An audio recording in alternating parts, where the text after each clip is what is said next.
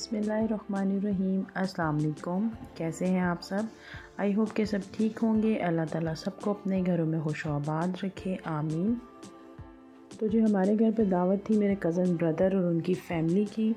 तो देखते हैं मैंने कौन कौन सी रेसिपीज़ बनाई, आज आपके साथ मैं शेयर करूँगी। आई होप आपके लिए ये वीडियो जो है वो यूज़फुल रहे और वीडियो को कंप्लीट वॉच कीजिएगा। और अगर आपने मेरे चैनल को अभी तक सब्सक्राइब नहीं किया तो सब्सक्राइब कर दें और बेल के बटन को ज़रूर प्रेस करें ताकि आपको आने वाली वीडियोज़ की नोटिफिकेशंस मिल सकें।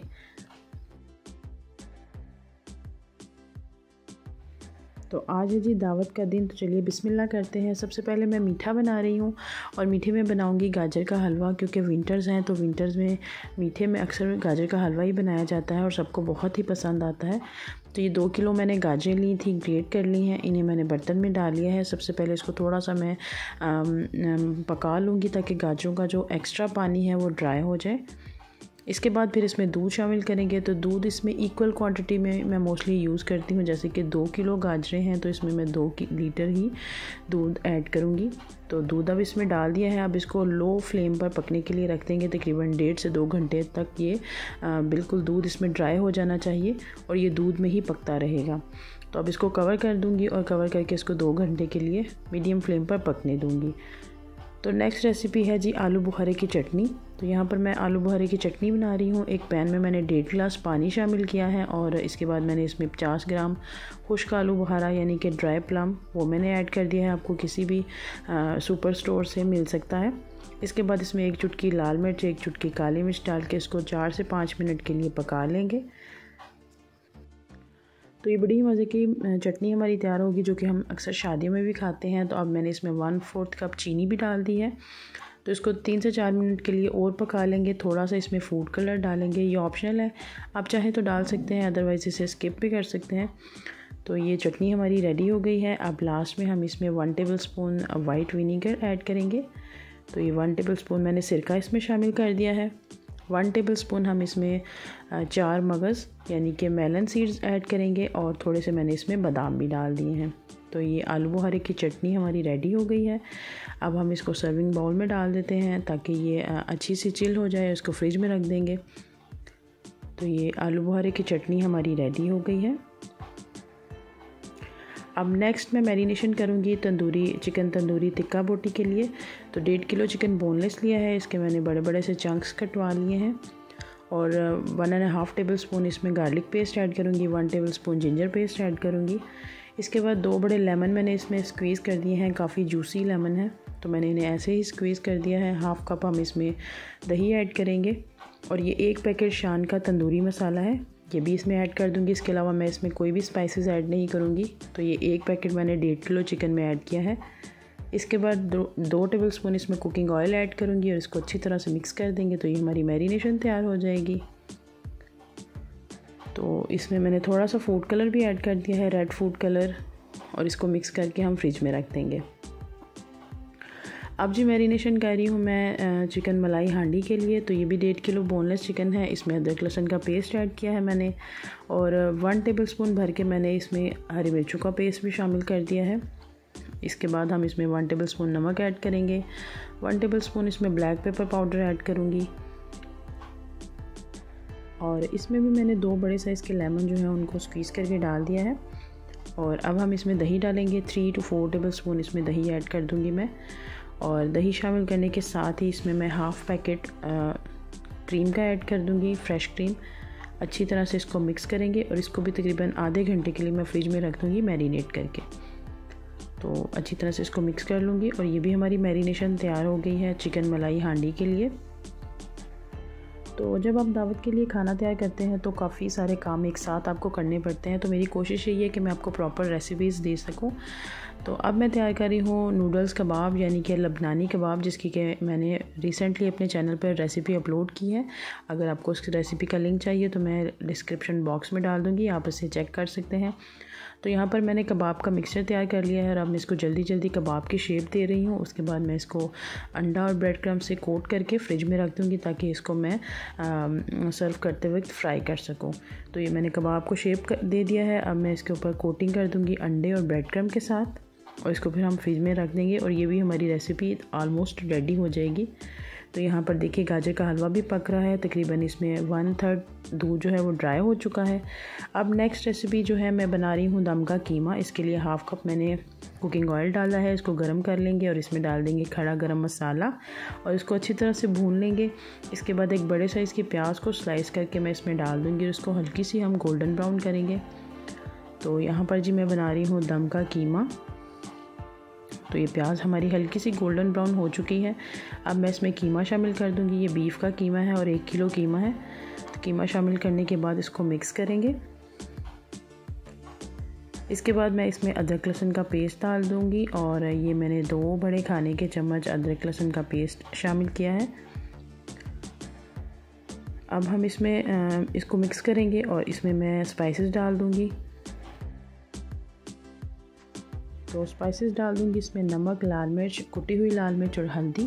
तो स्पाइसेस मैंने इसमें ऐड कर दिए हैं। अब इसको अच्छी तरह से भून लेंगे। पानी हम इसमें बिल्कुल भी शामिल नहीं करेंगे क्योंकि ये दम का कीमा है तो ये अपने ही पानी में हमें इसको पकाना है। तो साथ ही मैंने इसमें वन टीस्पून धनिया पाउडर भी डाल दिया है। रोस्टेड धनिया है ये। तो मसाले शामिल करने के बाद उसकी अच्छी तरह से हम बुनाई करेंगे और ये देखिए इसमें मसाले अच्छे से हमने डाल के भून लिए हैं। अब मैं इसमें टमाटर डाल दूँगी। तीन बड़े साइज़ के टमाटर हैं, इनको मैंने रफली स्लाइस किया है और इसमें डाल दिया है। तो अब हम इसको मिक्स करेंगे और मिक्स करने के बाद इसको कवर करके पकाएँगे ताकि टमाटर जो है वो अच्छी तरह से सॉफ्ट हो जाए और कीमे के पानी में ही ये टमाटर भी गल जाएँगे। अच्छी तरह से इसको मिक्स करेंगे और अब मैं इसको पाँच मिनट के लिए कवर कर दूँगी। तो ये देखिए मैंने इसको कवर कर दिया है। तो ये थोड़ी देर कवर करके मैंने पकाया है तो टमाटर जो है वो अच्छी तरह से गल चुके हैं। अब मैंने इसमें हाफ़ कप दही ऐड कर दिया है। दही डाल के हम इसको भून लेंगे। तो मैंने इसमें कोई भी एक्स्ट्रा पानी ऐड नहीं किया। टमाटर और दही के पानी से ही कीमा जो है वो अच्छी तरह से गल जाएगा। और ये देखिए, इसको दही डाल के भून रही हूँ। तो दही डालने के बाद मैंने इसको अच्छी तरह से भून दिया है। अब दोबारा से इसको कवर करेंगे। तो इसे तरह से इसको कवर कर करके हल्की आँच पर इसको पकाते जाएँगे। तो ये देखिए, पाँच मिनट के बाद जब मैंने इसको ओपन किया है तो ऑयल इसका ऊपर आ गया है। कीमा हमारा बिल्कुल डन होने वाला है। अब लास्ट में मैं इसमें हाफ़ कप कटी हुई शिमला मिर्च डाल दूँगी। इसको मैंने क्यूब्स की शक्ल में काट लिया है। आप चाहें तो इसको जूलियन शेप में भी काट सकते हैं, यानी कि लंबा लंबा काट के भी इसमें डाल सकते हैं। और ये मैंने थोड़ी सी स्लाइस की हुई प्याज भी डाल दी हैं। ये मैंने लास्ट में ऐड की है। प्याज और शिमला मिर्च ऐड करने के बाद इसको बहुत ज़्यादा नहीं पकाना इसको हल्की आँच पर बस पाँच मिनट के लिए दम पर रखना है ताकि ये हल्की सी सॉफ्ट हो जाए, थोड़ा सा इसमें क्रंच जो है वो बाकी रहना चाहिए। और अब मैंने इसमें गरम मसाला भी डाल दिया है तो उसको मिक्स करके हल्की आँच पर पाँच मिनट के लिए दम पर रखेंगे और ये कीमा हमारा बिल्कुल जो है वो रेडी हो जाएगा। इसको हम मिक्स करेंगे और ये देखें, कवर करते हैं, कीमा हमारा बिल्कुल रेडी है।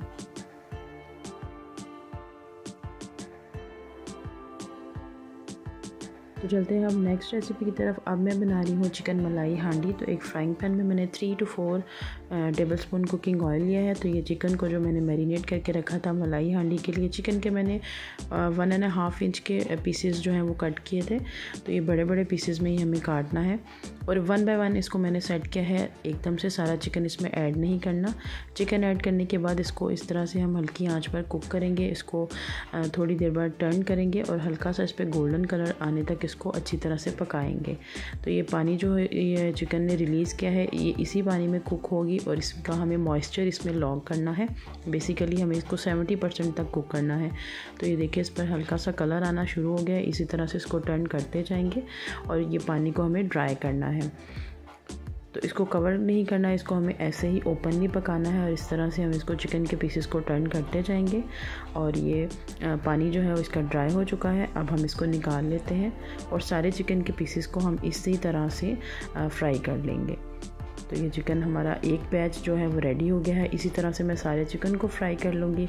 और अब हम चलते हैं इसकी ग्रेवी की तरफ़। तो कढ़ाई में मैंने हाफ़ कप कुकिंग ऑयल डाल दिया है।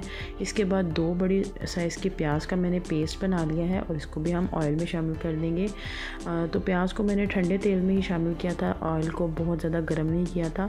इससे यह है कि ऑयल के बहुत ज़्यादा छींटे उड़ेंगे, इसलिए मैंने इसको ठंडे तेल में ही शामिल कर दिया था। इसके बाद ग्राइंडर में मैंने हैंडफुल पील्ड आलमंड लिए हैं। इसमें थोड़ा सा दूध डाल के इसका एक पेस्ट बना लेंगे, जो कि हम ग्रेवी में यूज़ करेंगे। तो दूध डाल के इसका हम एक पेस्ट बनाकर इसको साइड पर रख देंगे। तो ये देखिए, प्याज अब फ्राई होना शुरू हो चुकी है। प्याज को अच्छी तरह से हमें फ्राई करना है, ताकि इसका एक कच्चापन जो है वो ख़त्म हो जाए। और साथ ही मैंने इसमें अदरक लहसुन का पेस्ट भी ऐड कर दिया है। तीन बड़े खाने के चम्मच मैंने अदरक लहसुन का पेस्ट इसमें ऐड किया है। और अच्छी तरह से हम अदरक लहसुन के पेस्ट और प्याज को भून लेंगे। तो ये देखिए, प्याज हमारी अच्छे से भून चुकी है। अब इसमें वन टेबल स्पून हरी मिर्चों का पेस्ट भी डाल दूँगी और इसको मिक्स करेंगे और साथ ही हम इसमें मसाले भी डालेंगे। तो वन टीस्पून इसमें नमक ऐड करेंगे। नमक जो है, वो आप इसमें एहतियात से शामिल करें क्योंकि चिकन की जो मैरिनेशन थी, उसमें भी नमक ऐड किया था। वन टी इसमें ब्लैक पेपर पाउडर ऐड किया है। वन टी इसमें रोस्टेड ज़ीरा पाउडर ऐड करेंगे और वन टी इसमें गर्म मसाला शामिल करेंगे। तो मसाले ऐड करने के बाद इसको अच्छी तरह से मिक्स करेंगे हम। थोड़ा सा पानी भी शामिल कर सकते हैं। अगर मसाला आपका लगने लगे नीचे तो मैंने थोड़ा सा इसमें पानी शामिल किया है। इसके साथ हाफ़ कप हम इसमें दही ऐड कर देंगे। दही जो है वो थिक होनी चाहिए। तो ये मैंने थिक दही ली है। इसके बाद इसको मिक्स करेंगे। तो ये बड़ी ही फ़ाइन सी इसकी ग्रेवी तैयार होगी और बिल्कुल रेस्टोरेंट स्टाइल चिकन मलाई हांडी, जो बोनलेस मलाई हांडी जैसा कि हम रेस्टोरेंट में खाते हैं, बिल्कुल सेम उसी तरह से इसका ये टेस्ट आएगा। तो ये मसाले को हमें बहुत अच्छी तरह से भूनना है। इसके बाद ये जो लेफ़्ट ओवर मैरिनेशन है, वो भी हम इसमें शामिल कर देंगे।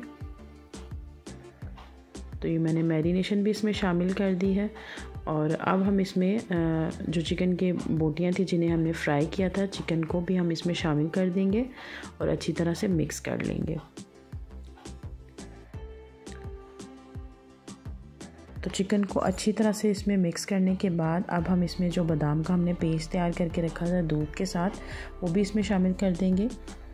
तो ये तकरीबन one and half tablespoon बादाम का पेस्ट था, वो भी इसमें शामिल कर दिया है। आप इसमें आलमंड पाउडर जो है, वो भी डाल सकते हैं। इससे ये है कि ग्रेवी आपकी बहुत ही दानेदार और बहुत ही रिच ग्रेवी बनेगी। तो अब इसको मिक्स करते हैं। और अब हम इसमें दूध ऐड करेंगे। एक कप हम इसमें दूध ऐड करेंगे। आप अगर इसकी ग्रेवी ज़्यादा बनाना चाहते हैं तो इसमें आप दूध ज़्यादा भी शामिल कर सकते हैं। तो मैंने इसमें एक कप दूध शामिल किया है तो वो इस हिसाब से काफ़ी है। दूध ऐड करने के बाद इसको मिक्स करके हल्की आँच पर पकाएँगे। तो ये बहुत ही मज़ेदार और ज़बरदस्त ही हमारी चिकन मलाई हांडी जो है, वो भी बिल्कुल रेडी होने वाली है। अब लास्ट में बस इसमें हमें लेमन स्क्वीज़ करना है। एक बड़े साइज़ का मैंने लेमन लेमन लिया है, वो हमने इसमें डाल दिया है। और इसके बाद हम इसमें क्रीम ऐड करेंगे। तो हाफ़ पैकेट क्रीम मैंने इसकी मैरिनेशन में शामिल की थी और अब हाफ़ पैकेट बाकी की जो क्रीम है वो मैं इसके लास्ट में ऐड कर दूँगी और क्रीम डालने के बाद इसको अच्छी तरह से मिक्स कर लेंगे। ऑयल इसका ऊपर आ चुका है हाफ़ पैकेट मैंने इसमें क्रीम ऐड कर दी है। आप इसमें दूध की बलाई भी शामिल कर सकते हैं। जो घर में हम फ्रेश दूध यूज़ करते हैं, उसकी बलाई भी इसमें आप ऐड कर सकते हैं। तो क्रीम डालने के बाद इसको हम मिक्स करेंगे। तो ये रेसिपी भी हमारी बिल्कुल डन हो चुकी है। अब इसको कवर करेंगे और साइड पर रखेंगे।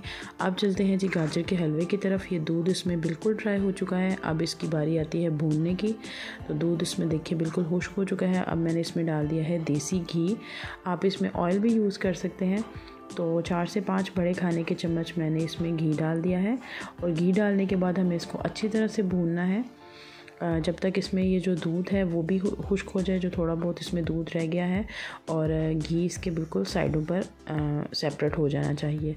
तो अच्छी तरह से इसको हमें हाई फ्लेम पर भूनना है और बिल्कुल इसमें कॉन्टीन्यूसली इसको मिक्स करते जाना है ताकि ये नीचे ना लग जाए। तो तकरीबन पाँच मिनट तक इसको अच्छी तरह से हम भून लेंगे। इसके बाद हम इसमें चीनी ऐड करेंगे। तो चीनी हम टेस्ट के अकॉर्डिंग ऐड करेंगे। मैं इसमें वन कप चीनी ऐड करूँगी और चीनी शामिल करने के बाद दोबारा से इसको मिक्स करेंगे। तो शुगर ऐड करने के बाद जो चीनी है वो भी थोड़ा बहुत अपना पानी जो है वो छोड़ेगी। तो अच्छी तरह से इसको मिक्स करना है।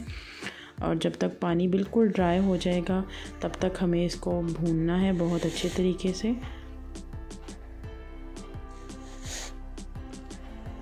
और अब थोड़े से मैं इसमें बादाम डाल दूँगी। आप अपनी चॉइस के कोई भी ड्राई फ्रूट्स इसमें ऐड कर सकते हैं।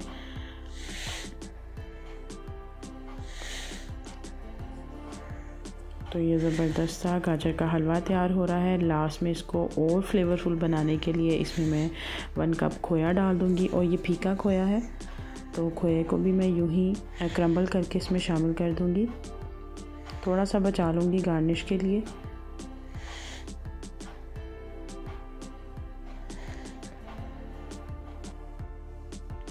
तो ये गाजर का हलवा भी हमारा रेडी हो गया है। इसको भी साइड पर रख दूँगी और क्योंकि ये गरम गरम ही सर्व किया जाता है तो इसको सर्व करने से एक, पहले मैं एक दफ़ा दोबारा गर्म कर लूँगी और फिर इसको हम सर्व करेंगे। तो यहाँ पर जी बिरयानी के लिए कौरमा बन रहा है तो बिरयानी की रेसिपी मैं काफ़ी दफ़ा शेयर कर चुकी हूँ, मेरे चैनल पर मौजूद है। तो बिरयानी की रेसिपी मैं अभी शेयर नहीं करूँगी। तो यहाँ पर जी बिरयानी के लिए कौरमा रेडी हो रहा है। अब ये जो मैंने चिकन तंदूरी टिक्के को मैरिनेट करके रखा था, इसको भी मैं स्क्यूर्स पर लगा कर रख लूँगी ताकि इसको सर्व करने से पहले मैं जल्दी जल्दी से फ्राई कर लूँ। तो इसको मैं इस तरह से स्क्यूर्स पर पहले से ही लगा कर रख लूँगी ताकि इसको फ्राई करने में आसानी रहे।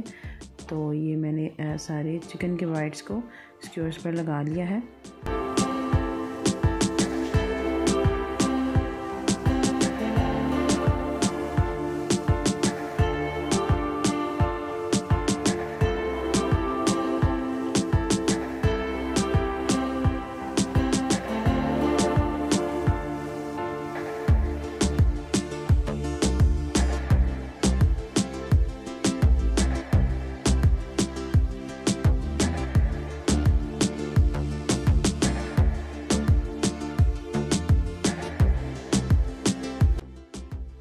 और यहाँ पर बन रहा है जी हॉट एंड सॉर सूप जिसकी रेसिपी अनफॉर्चुनेटली मैं शेयर नहीं कर सकी क्योंकि ये मैंने बिल्कुल लास्ट में बनाया था क्योंकि सूप जो है वो गरम गरम ही सर्व किया जाता है। तो इसकी रेसिपी मैं रिकॉर्ड ही नहीं कर पाई। तो इन बहुत जल्दी इसकी रेसिपी मैं आपके साथ शेयर करूँगी। तो अभी मैंने इसमें कॉर्नफ्लावर स्लरी डाली है और लास्ट में इसमें अंडे ऐड किए हैं और इसको अब मिक्स करेंगे। तो ये हॉट एंड सॉर सूप जो है वो बिल्कुल रेडी है। इसको बिल्कुल लास्ट में मैंने बनाया था और सबसे पहले मैंने सूप ही सर्व किया था। तो ये हॉट एंड सॉर सूप जो है वो भी रेडी है।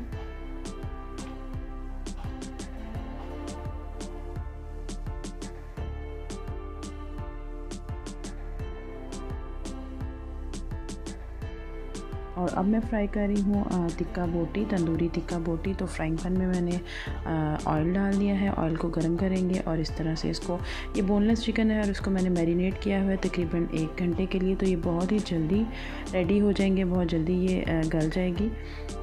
तो हल्की आँच पर इसको इस तरह से टर्न करते जाएँगे और इस पर गोल्डन ब्राउन कलर आने तक इसको टर्न करते करते ही हम पकाएँगे। और ये जो मैरिनेशन है, इसको भी मैं थोड़ी थोड़ी सी इस तरह से इसके ऊपर डालती जाऊँगी। बहुत ही ज़बरदस्त देखिए इन पर कलर आ गया है और ये हमारी चिकन तंदूरी टिक्का बोटी बिल्कुल रेडी है। आप इसको स्क्योर्स के बगैर भी बना सकते हैं बाइट्स की शक्ल में। तो ये था जी मेरा दावत का व्लॉग आई होप आपको बहुत अच्छा लगा होगा. वीडियो अच्छी लगे तो लाइक ज़रूर कीजिएगा. मैंने ये बहुत मेहनत से वीडियो बनाई है और आपकी अप्रिसिएशन मुझे बहुत ही मोटिवेट करती है. तो लास्ट में मैं टेबल की वीडियो नहीं बना सकी क्योंकि मैंने इसको पहले स्टार्टर्स को सर्व किया, उसके बाद मैंने मेन कोर्स सर्व किया. तो इसलिए मैं वीडियो नहीं बना सकी थी. लेकिन ये सारी रेसिपीज़ आई होप आपको बहुत अच्छी लगेंगी. वीडियो अच्छी लगे तो लाइक ज़रूर कीजिएगा शेयर कीजिएगा अपने फ्रेंड्स एंड फैमिली के साथ. इसके अलावा आप मुझे फेसबुक और इंस्टाग्राम पर भी फॉलो कर सकते हैं। तो मिलते हैं एक नई वीडियो में। Till then take care thank you for watching Allah हाफिज़।